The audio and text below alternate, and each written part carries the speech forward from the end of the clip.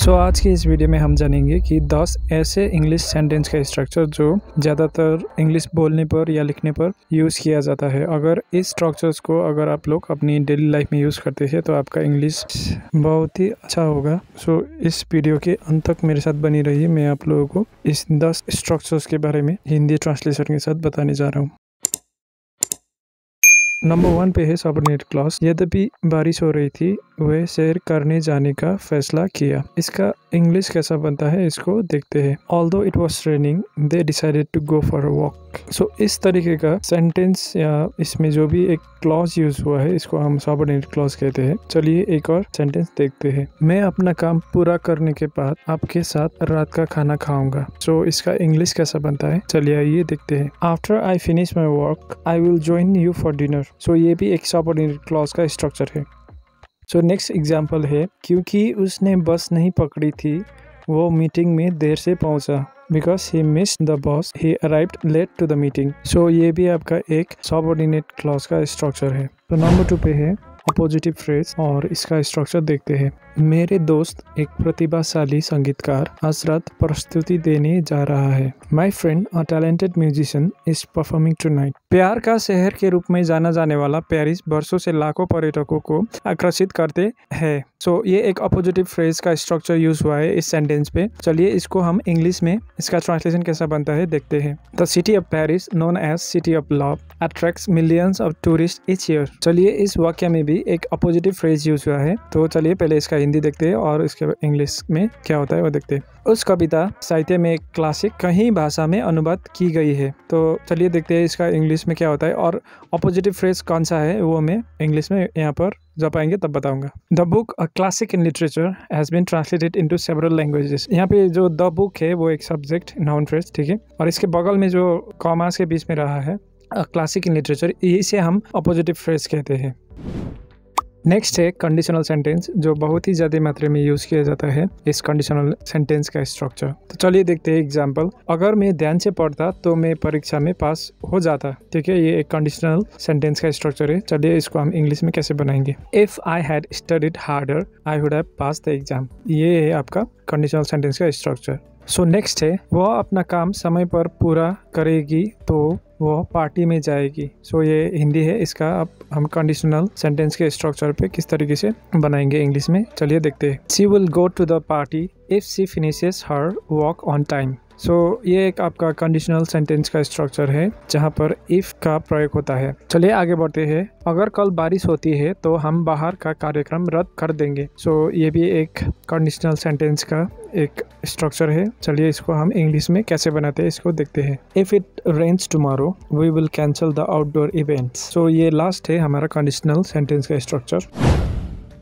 हमारी next structure है participle phrase ठीक है? हिंदी वाले सेंटेंस को देखेंगे एंड देन फिर हम इंग्लिश का सेंटेंस को देखेंगे। सो so, पहला है दौड़ते हुए देर हो रही थी तो वो जल्दी से अपनी बैग ली और घर छोड़ दिया। घर छोड़ दिया मीन्स घर से निकला। तो चलिए, ये एक पार्टिसिपल फ्रेज का स्ट्रक्चर है, इसको हम इंग्लिश में कैसे बनाएँगे? चलिए, देखते हैं। Running late she quickly grabbed her bag and left the house so यहाँ पे पार्टिसिपल रनिंग लेट जो है, एक पार्टिसिपल फ्रेज है, जहाँ पे भाव का आई एन जी वाला फॉर्म एज एग्जिटिव काम करते हैं। सो नेक्स्ट एग्ज़ाम्पल है, उन्हें यात्रा से उत्साहित होते हुए वे रात के पहले अपने बैग पैक कर लिए। तो चलिए हम इसको इंग्लिश में बनाएँगे और जानेंगे कि इसमें कौन सा वाला पार्टिसिपल फ्रेज है। Excited about the trip they pack their bags the night before ठीक है तो यहाँ पे बॉब का थर्ड फॉर्म भी एज अ पार्टिसिपल यूज़ किया जाता है और ये भी एग्जिटिव के रूप में हमें यूज़ कर सकते हैं। इसे जैसे एक्साइटेड और इसका बिफोर आई एन जी वाला एक्साइटिंग होता है। लंबी यात्रा से थके हुए वे थोड़ी देर के लिए आराम करने का फैसला किया। सो so, यहाँ पे भी पार्टिसिपल फ्रेज का यूज़ किया गया है। चलिए इसको हम इंग्लिश में जानते हैं और मैं बताऊँगा यहाँ पे पार्टिसिपल फ्रेज कौन सा वाला है।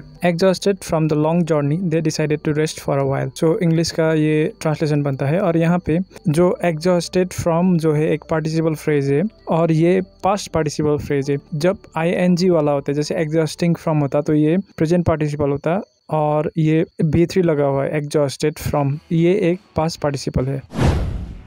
सो so, नेक्स्ट है हमारा इन्फिनेटिव फ्रेज और इसका स्ट्रक्चर हम देखते हैं। चलिए आइए पहले इसका हिंदी कुछ सेंटेंसेस देखेंगे एंड देन इसका इंग्लिश जानेंगे। उसने वादा किया कि वह प्रोजेक्ट में मदद करेगी। तो ये एक इन्फिनिटिव फ्रेज का स्ट्रक्चर है। सो so, इसका इंग्लिश है she promise to help with the project यहाँ पे टू हेल्प जो है ये एक इन्फिनेटिव फ्रेज है। उसे गिटार बजाना सीखना है। सो so, यहाँ पर भी इन्फिनेटिव फ्रेज मिलेंगे। चलिए इसका इंग्लिश कैसे बनता है? She wants to learn how to play guitar ठीक है यहाँ पे टू लर्न और यहाँ पे टू प्ले जो है ये दोनों ही इन्फिनेटिव फ्रेज है। क्योंकि यहाँ पर टू के साथ एक बॉब बी वन यूज़ किया गया है। तो ये एक इन्फिनेटिव फ्रेज बनता है। और ये ज़्यादातर इंग्लिश में हम इस स्ट्रक्चर को हम मोस्टली इंग्लिश में यूज़ करते हैं। नेक्स्ट एग्ज़ाम्पल इज़ वे अपने सपने पूरा करने के लिए विदेश जाने का फैसला किया। यहाँ पर भी इन्फिनेटिव का यूज़ हुआ है। चलिए देखते हैं। They decided to go abroad to pursue their dreams यहाँ पे टू गो टू परस्यू ये दोनों जब एक साथ है एक ग्रुप में काम कर रहे हैं तो ये भी एक इन्फिनेटिव फ्रेज है। सो नेक्स्ट है हमारा कंपाउंड कॉम्प्लेक्स सेंटेंस ये मुश्किल होता है ये सेंटेंस यूज़ करने के लिए. एडवांस लेवल के लोग यूज़ करते हैं इसे. तो चलिए इसका भी कुछ एग्जांपल्स देखते हैं. जैसे कि, सूरज चमक रहा था, लेकिन हवा ठंडी थी. इसलिए वे इधर पिकनिक करने का फैसला किया. तो ये एक कंपाउंड कॉम्प्लेक्स का एक सेंटेंस का जो है एक स्ट्रक्चर है. चलिए इसका इंग्लिश में कैसे बनता है, इसको हम देखेंगे। The sun was shining but the wind was cold so they decided to have a picnic outdoors ये एक कंपाउंड कॉम्प्लेक्स सेंटेंस का एक स्ट्रक्चर है, ठीक है? इसको आपको डिटेल में जानना है तो आपको वीडियो मिल जाएँगे। लाइव में पढ़ाया हूँ मैंने लाइव सेक्शन में जाइए, वहाँ पे आपको मिलेंगे। और आपको और अलग से एक डेडिकेटेड वीडियो चाहिए तो कमेंट कर सकते हैं, ठीक है? मैं आपको यहाँ पर जो भी स्ट्रक्चर को जानना चाहते हैं आप लोग एकदम डिटेल में तो उसके बारे में आप लोग कमेंट कर सकते हैं। सो नेक्स्ट है उसने परीक्षा के लिए कड़ी मेहनत की, लेकिन वो फिर भी अच्छा अंक नहीं प्राप्त कर सका, क्योंकि वो बीमार थी। इंग्लिश में कैसे बनाते हैं, देखते हैं। She studied hard for the test but she still didn't get a good grade because she was ill ये भी एक कंपाउंड कॉम्प्लेक्स सेंटेंस का एक स्ट्रक्चर है। तो नेक्स्ट एग्ज़ाम्पल है, वो दुकान पर गया, कुछ सामान खरीदने, और फिर अपने दोस्त के लिए एक स्वादिष्ट खाना बनाया। ये भी एक कंपाउंड कॉम्प्लेक्स सेंटेंस का एक स्ट्रक्चर है, इसको इंग्लिश में जानते हैं। He went to the store brought some groceries and then cooked a delicious dinner for his friends. So ये एक compound complex का एक structure है। सो so, नेक्स्ट है हमारा जेरन फ्रेज इन्फिनिटी फ्रेज की तरह ही काम करता है लेकिन थोड़ा सा डिफरेंट होता है इसमें। जैसे कि समुद्र में तैरना उसका पसंदीदा शौक है तो इसको हम इंग्लिश में कैसे कहेंगे? Swimming in the ocean is her favourite hobby यहाँ पे स्विमिंग इन द ओशन एक जेरन फ्रेज है। सो दूसरा है पार्क में दौड़ने से वह फिट रहता है। सो ये भी एक जेरन फ्रेज है। चलिए इसको इंग्लिश में कैसे कहेंगे? Running in the park helps him stay fit ठीक है यहाँ पे रनिंग इन द पार्क जो है एक ये जेरन फ्रेज है। सो so, नेक्स्ट है सावर में गाना गाना उसे खुश महसूस करवाता है। सो so, यहाँ पर भी एक जेरन फ्रेज यूज़ हुआ है। चलिए इसको हम इंग्लिश में जानते हैं और मैं बताऊँगा आपको कि जेरन फ्रेज कौन सा वाला है। Singing in the shower makes her feel happy ठीक है तो यहाँ पे सिंगिंग इन द सावर जो है एक जेरन फ्रेज है। सो नेक्स्ट है हमारा इम्पोर्टेंट फ्रेज है एब्सोल्यूट फ्रेज जो एक ग्रुप ऑफ़ वर्ड होता है ये ग्रुप ऑफ़ वर्ड पूरे सेंटेंस को मॉडिफाई करता है। सो so, चलिए देखते हैं एग्जांपल खेल खत्म होने के बाद हम सभी रात का खाना खाने निकल गए। ये आपका ये तो हिंदी हो गया आप इंग्लिश में देखते हैं कि यहाँ पर एब्सोल्यूट फ्रेज कौन सा वाला है। द गेम ओवर ये गेम ओवर जो है एब्सोल्यूट फ्रेज है। We all went for dinner ठीक है? तो गेम ओवर जो है, दूसरा वाला सेंटेंस को पूरा मॉडिफाई कर रहा है। बारिश रुकने के बाद हम अपनी हाइकिंग जारी रखे। The rain having stop we continued our hike so यहाँ पे द रेन हैविंग स्टॉप ये एक एब्सोल्यूट फ्रेज है। सूरज तेज चमक रहा था, इसलिए वे बीच पर जाने का फैसला किया। The sun shining brightly they decided to go to the beach so यहाँ पे द सन शाइनिंग ब्राइटली भी एक एब्सोल्यूट फ्रेज है, जो पूरे पीछे वाले सेंटेंस को मॉडिफाई कर रहा है। सो नंबर नाइन पे है हमारा स्ट्रक्चर एग्जिटिव क्लॉज का स्ट्रक्चर उस किताब जो आपने सुझाई थी, बहुत दिलचस्प थी. The book that you recommended was very interesting तो यहाँ पे that you recommended was very interesting यहाँ पे दैट से पीछे जो भी एक क्लॉज है यहाँ पे क्लॉज मीन्स एक पूरा सेंटेंस है सब्जेक्ट वर्ब ऑब्जेक्ट का.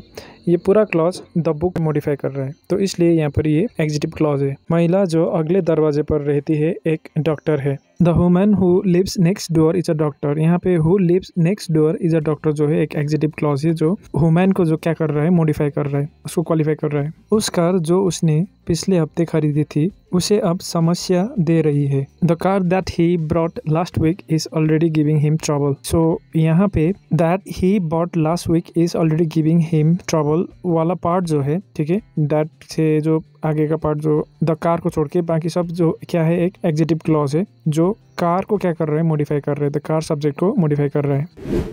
सो लास्ट स्ट्रक्चर है हमारा इंटरोगेटिव सेंटेंस आप कल रात कहाँ गए थे? Where did you go last night क्या आप आज रात पार्टी में जाने वाले हैं? Are you going to the party tonight आपको अपनी प्रोजेक्ट के लिए कैसे मदद कर सकता हूँ? इसका आंसर आप लोग कमेंट में बनाइए।